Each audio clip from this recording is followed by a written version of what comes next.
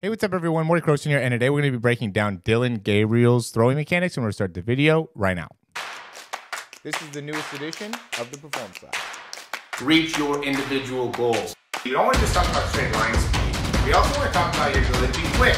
We break down your video. Let's make you into the quarterback I know you can become.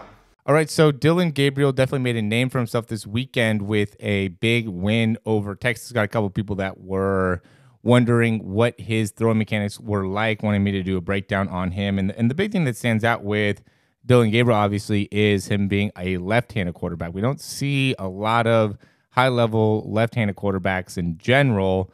Um, you know, there's just been just a very few amount of them. I think he's a great college quarterback, but I don't know how well it's going to be transferred over into the NFL. And, and this is just going to go through the game this weekend. We'll just be going from the in order from the beginning of the game to the end. Uh, and so we could see here, this is an example of something where, you know, really not great mechanics, really not doing a great job shifting onto his front leg, really not a great decision here either with where to throw the ball. It might be a miscommunication. That receiver might needed might, might have needed to stay more on the outside part of the field or, you know, more towards the top of the numbers instead of coming all the way inwards. But I'm going to assume that that was just not a great uh, decision just based off of the responses from the receiver here. Here, I, I like the uh, the throw. Uh, I mean, gr- not great deep ball mechanics, right? Really straight with that front leg, really bringing that that left leg all the way around. You could tell he definitely has a baseball background. That's a very common baseball thing to do is bring that leg around and really stiffen that front leg a good amount. He's still, I mean, it's not like he doesn't have arm strength. It's just does he have the combination of arm strength and clean decision making, I think that ends up making him a bit of a, um, again, uh, he's a really high level college quarterback. I don't know how well it's going to be able to transfer over into the NFL. So when looking at this year, we'll see the ball kind of leaving his hands. We got 6 2. It's going to be the time here. And the ball gets out. Probably about 9 3, right? So another about 0.31 in terms of the release time. Really clean release time.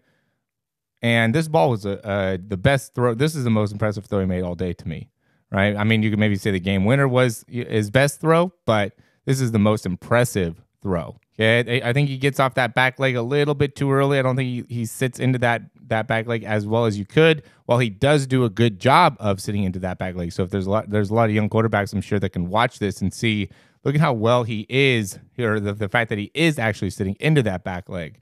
Now he's very quick to being able to get off of that back leg and not really generating as much rotation there and is creating a good amount of push, which is why he ends up needing to stiffen that front leg and comes around with that front leg and, and ends up really putting a lot more on his arm than he probably needs to.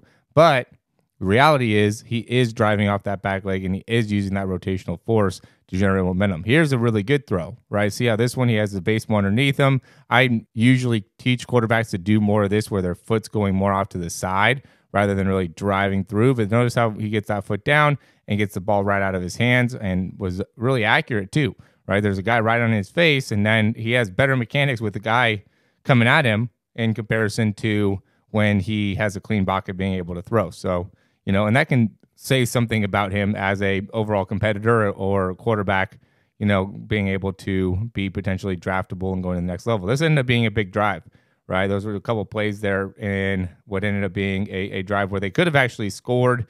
You know, had a, a, guy drop the ball there late, right before the end of the half, um, but still ended up taking. They they drove all the way down the field, uh, kicked a field goal, got a three point lead. Then coming out of halftime, they went and drove down and ended up scoring there. So uh, now they ended up coming back, and it's 20, 20, 27 27. This is another great throw. Okay. I, I do think that at times he's not great at getting the ball out. He doesn't have great timing with the throws and, and takes a couple extra steps here.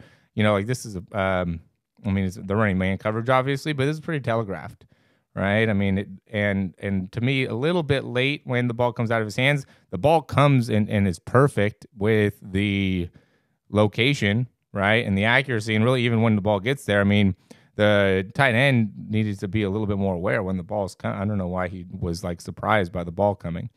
Great throw here again, right? I mean, he does a lot of things really well and is great at being able to really handle the pressure, right? Here's another play where the pocket ended up collapsing on him. He does a great job escaping when the pocket is collapsing. Does a great job of keeping his eyes downfield, finds the open receiver, and is able to complete it and get get big yards there. And that's the big thing that I would say too for younger quarterbacks is you really want to understand how to work the pocket. You know, this is something that is uh, you know, really uh, harder to teach. I think you know you could probably set up drills, and I'm, I'm sure they do set up drills like this uh, for a lot of the uh, quarterbacks that are you know at these bigger schools. But you know, you still want to be able to understand like when this pocket is collapsing. I see so many guys that would just like run that way, right? They start to feel pressure and they just try to escape the tackles rather than being able to step up in the pocket and being able to find some space going forward and then be able to look downfield and find a open target. And he does a really really good job of being able to work the pocket. That's probably his most impressive thing would be how well he's able to uh, really handle the rush and step up in the rush and and make it so um, you know he he doesn't take as many sacks, right? He I saw him get out of sacks. There's one play that he uh, I want to say it was a scoring drive and they they ended up stopping Oklahoma on um, or sorry, then Texas stopped Oklahoma on their own like one, and then two or three plays later, Dillon Gabriel escaped and got probably like a forty or fifty yard run. It was a pass play, but was able to escape the pocket and um, run for a, a, really big gain. And it was like a big play, you know, like in, in the overall grand scheme of things, like you know that would could have still been a great opportunity for Texas to be able to stop Oklahoma and be able to, you know, get good field position. But that basically flipped the field position. I don't know if they ended up scoring on that drive for sure, but I know that was a big play. This ended up being a pass interference, so they got the ball 15 yards up. And then to me, this was a great play call, right? They ended up going into man coverage and they blitzed that that corner up at the top. And so they had basically man coverage and uh, looked like it was a linebacker, could have been a safety. Don't know for sure, but made the wrong choice. Easy touchdown. Again, the uh, pocket's collapsing in on him. Look, I mean, he keeps his eyes downfield. He's like, oh shit, you know, like I feel the, the pocket collapsing and was still able to get his eyes downfield and just get the ball out and boom, touchdown. Great play. Great play. You know, so in terms of his throwing, I think that there's some things that he could do better from the lower body perspective. He might even be releasing the ball too. Like to me, there's sometimes where he releases the ball a little bit too early in terms of where it is in comparison to um, like the rest of his body. So he's like releasing the ball as his arms coming through. Um, instead of at, getting the arm all the way through, then releasing it, get a little bit more of a wrist flick when you do that. Uh, but you know, these are all very, very just small little detail things. And and while you know they're they're important to be able to no matter what level you are right? You want to be as effective as you can. Um, obviously not everybody's going to have the same type of response to different things that may be uh, positive or negative within their uh, throwing mechanics so you know for him I, I think there's a lot of things that he does really well. Again handling pressure and being able to respond well to that and and really being able to have plenty of throwing power plenty of throwing velocity and really can make a lot of throws from you know, 30 yards and under. Again, I, th- I think he could work a little bit more on his ability to get the ball out of his hands and going through the reads, or sometimes where I think he holds the ball a little bit too long, right? Instead of just getting the ball out of his hands, like right here, you know, he's taking a couple extra hitches before he finally gets rid of the ball.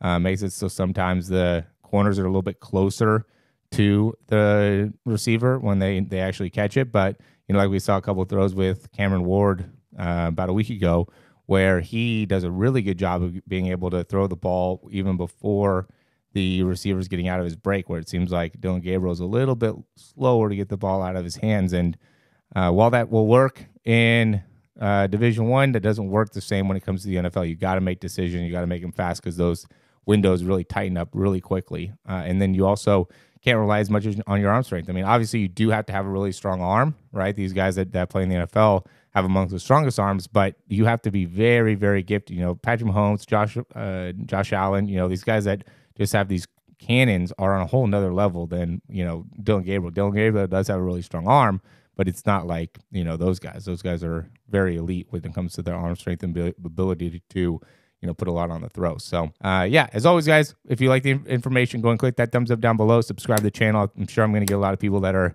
you know, not necessarily uh, big fans of the the maybe assessment of Dillon Gabriel, but would love to hear your feedback. If you have any recommendations. We'd love to hear that as well. You guys could check out the description to learn, learn a little bit more about what we do with our online programs, help you with your really big focus is on throwing power and ability to throw the ball further. I always tell people like when I was playing, I had a quarterback coach, and I, I wish we just put a little bit more focus on how far we could I could throw the ball and how much power I could throw on the ball. He did a great job at helping me with the footwork and my eyes and you know where to go with the football and, and getting the ball out of my hands quickly and, and using my body, especially when it comes to throwing the ball, you know, 30 yards or under. But it's a different type of throw when you're throwing the ball deep and, and understanding your footwork and, and getting your footwork down and really getting the video tutorials of what it's going to take you to be able to improve your throwing mechanics and making it specific to you, I think really helps and makes a big difference in your the the quarterback's ability to